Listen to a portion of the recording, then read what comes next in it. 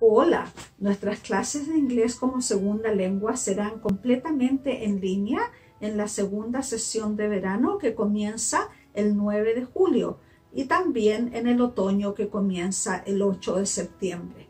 Recibirá el mismo tipo de instrucción de calidad ofrecida por excelentes maestros altamente calificados y podrá interactuar con maestros y compañeros a través de videoconferencias. También recibirá el mismo tipo de apoyo y servicio en línea que recibiría en cursos en el salón de clases. Matriculación y registro ya está abierto para la segunda sesión de verano y para el otoño. Actúe con rapidez para que alcance cupo.